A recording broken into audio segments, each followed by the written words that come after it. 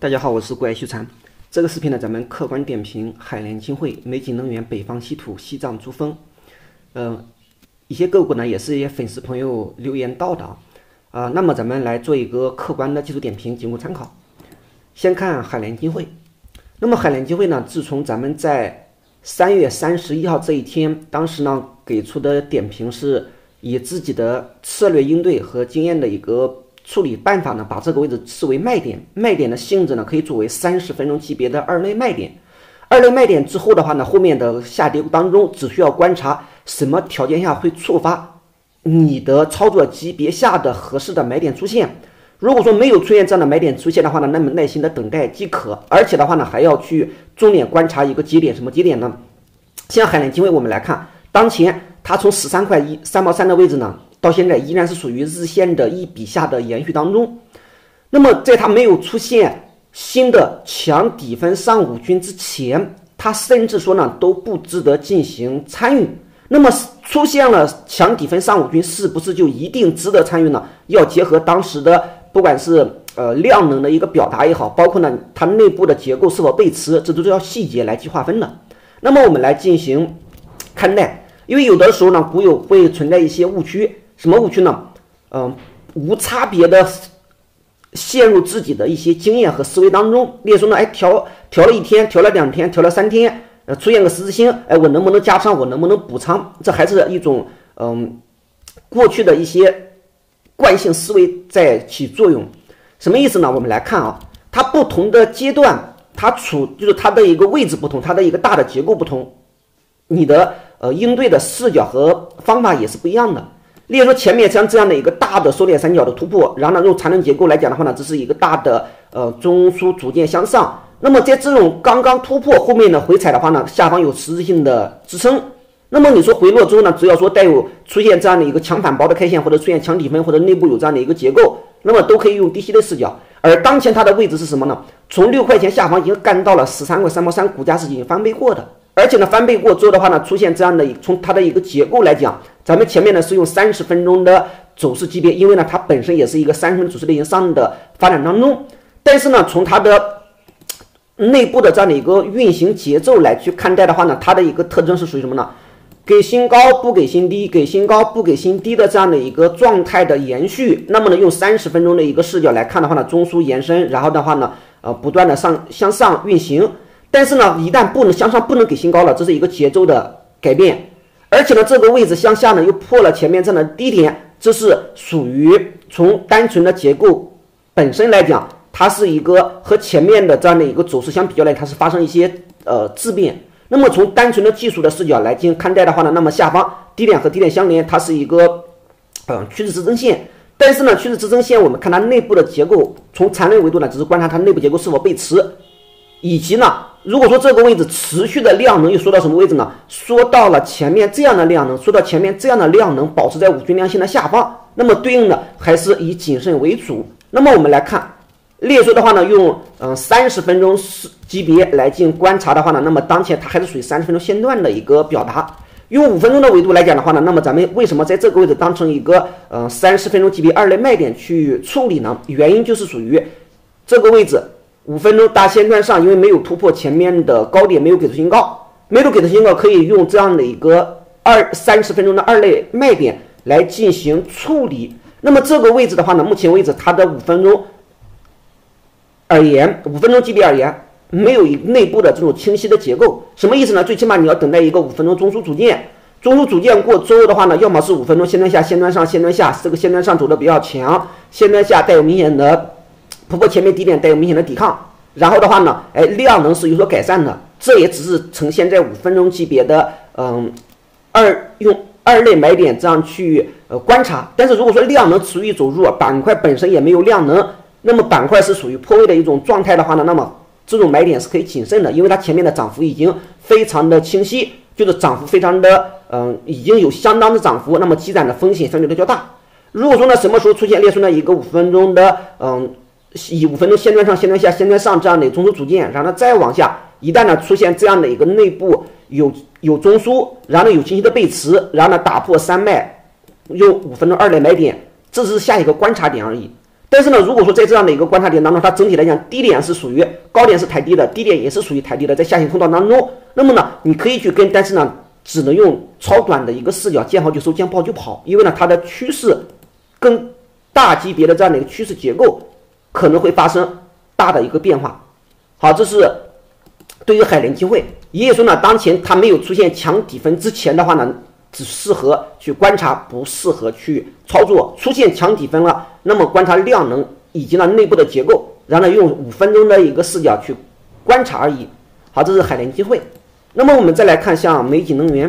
那么美景能源这一只个股的一个表达是什么呢？像今天，因为昨天呢和前天比，它是一个包含关系处理过之后呢，那么今天它实际上已经无形当中已经成了这样的一个底分，只不过这个底分呢并不算。强，那么对于这类个股的一个呃跟踪节点的话呢，那么我们从几个视角，第一，整个板块本身来讲的话呢是弱，是偏弱的；第二，从个股的一个表达来讲呢，这个位置没有破前面的低点，那么今天日内重点观察的是能否形成能否形成强底分，并且伴随放量。如果说量能还是保持在五均量线的下方，它实际上还是属于嗯弱势当中。如果说呢这个位置能够把什么位置把前天。甚至把前面的，嗯，这个十字星的高点的位置能够强覆盖，强覆盖过之后的话呢，量能实现量能的这样的一个明显的放大，在这样的一个视角之下的话呢，你是可以把它作为列出呢，这是一笔下内部的话呢是有这样的一个小的结构的，而且没破前面低点出现底分了，那么你是可以当成嗯三十分钟的二类买点来进行定性。定性过之后的话呢，那么以底分的底作为一个防守位，然后呢，这个位置你是可以向上观察能否形成一笔上，然后呢，操作的一个级别来讲，可以用五分钟级别的买卖点去应对三十分钟级别二买的这样的一个嗯定性的视角，就是呢，一一量能要有表达，然后的话呢，今天强底分是否能出现？如果说强底分都出现不了，量能也是在五均量线的下方，那么这个位置的话呢，它还属于弱势的状态当中。好，那么我们来看啊，从三十分钟的一个视角来看的话呢，那么这个三十分钟线段下和前面比它是有背驰的。人的三十分钟内部的话呢，它是有五分钟的这样的一个结构。所以说呢，当前什么叫做用五分钟级别买卖点？如果说形成一个日形成一个日线的强底分之后，这个位置呢，它是一个五分钟线段上，后面五分钟线段下不破前面的低点，那么用五分钟级别的二类买点去嗯跟这是可以的。但是呢，对应的。五分钟，它涉及到级别是小的，仓位应该是更低的，这是呃应对的一个策略。如果说呢今天连强底分形成不了，那么对应的话呢量能也没有跟上，那么这个位置它首先呢还是属于弱势的一种状态，而且呢在一百四十年均线下方。好，这是美景能源。那么我们再继续呢往下面去看，例如像北方稀土。好，那么像北方稀土的话呢，那么像今天它的一个状态是什么呢？其实它是属于一阴不破，那么对于北方稀土这类个股出现了大的一个呃节奏来讲，其实前面在这个位置附近啊，在这个位置是提醒过呃卖点的。这个提醒卖点的话呢，一，它的内部三十分钟、六十分钟 MACD 没离，好，第二的话呢，对应的它又属于什么呢？传统视角下可以前面可以把它造成一个符合头肩顶的颈线位，然后呢破位反抽。反抽的话呢，尤其是后面一旦又破了一百四十年均线，它是属于这样的弱势当中。从趋势来讲，它也属于这样的一个下大的下行通道的延续当中。所以说呢，对于一只个股的一个分析来讲，首先要知道它的一个当前的一种状态，就是大的结构来讲丁性好。那么局部的一个视角来讲，那么如果说量能也没有跟上，这一根阴线也没有强覆盖的话呢，它是不具备操作价值的。那么什么情况下，如果这个位置呢量能？哎，放量放到什么呢？放到五均量线的上方，而且呢，最好是量能能够保持。保持的话呢，那么这个位置能够把前面的这一根阴线强覆盖掉。强覆盖掉过之后的话呢，那么后面呢，把底分的底作为一个防守位，然后的话呢，用五分钟级别，例如五分钟的嗯线段上冲，五分钟线段下回落不破前面低点，只能用五分钟级别二的买点，你只能它这是能够识别有这样的一个买卖点，有这样的一个嗯。级别的视角去跟踪而已，那么这个跟踪能不能走起来的话呢？还要看它后面量能能不能跟上，整个板块有没有量能的一个提振。然后呢，大的方向来的话呢，如果说哎这个位置上方又有背驰的，那么肯定很快的买点和卖点的一个转折，卖点和买点和卖点的一个转化。好，这是一个分析的视角，不作为嗯，就是呢，只是作为技术的一个运用和巩固。好，那么我们再看像西藏珠峰，那么西藏珠峰的话呢，很清晰嘛，它和嗯北方稀土眼下的这种状态是非常相近的。同样的，以对应的四月十一号这根阴线能不能实现强覆盖收在五均之上？如果能的话呢，好，这个位置只是从小周期来讲，它是一个嗯弱转，就是小周期来讲是一个弱转强。但是大的一个方向上面来讲的话呢，它依然是属于这样的一个嗯向下的这样的一个运行当中。这个运行当中的话呢，那么对应的均线是属于空头排列的状态，量能是属于持续缩减的，MACD 零轴下方。所以说呢，你不能因为自己的主观的想法和期待，就盲目的进行买入等等。但是呢，如果说没有出现这种信号之前，列出呢量能温和放大或者放到五均量线上方之后能够保持住，然后的话呢能够把这个一线强覆盖掉。那么强覆盖掉之后的话呢，那么对应呢，它在五分钟上面来讲是一个五分钟的呃线段上。那么后面的跟踪节点的话呢，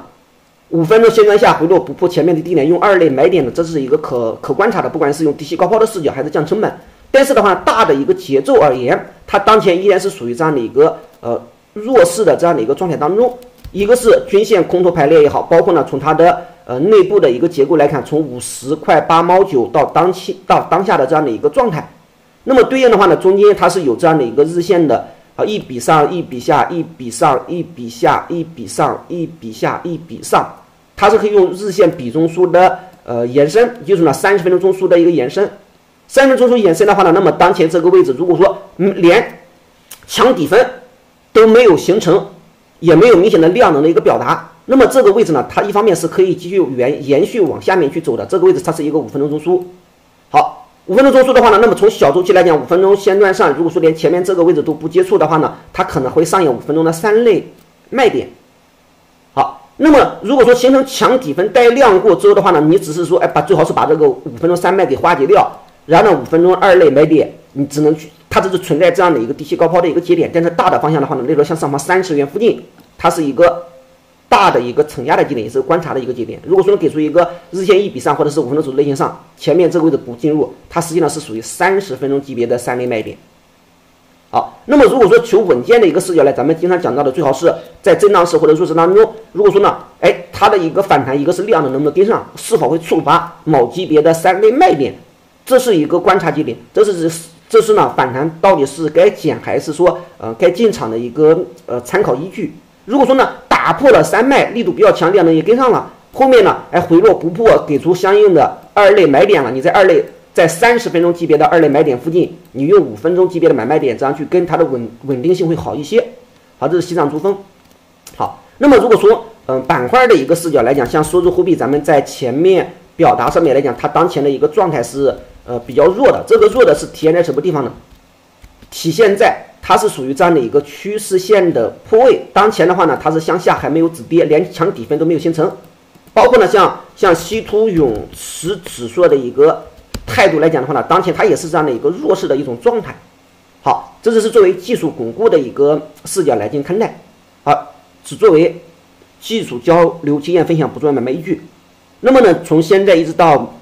整个五月初吧，呃，咱们呢会像在白天或者是下午的盘后。会进行嗯更新，晚上的话呢，因为未来的接近一个月的时间，晚上的八点到九点呢，修禅有自己的呃事情啊，给大家再一次就是简单的讲一下，好，再见。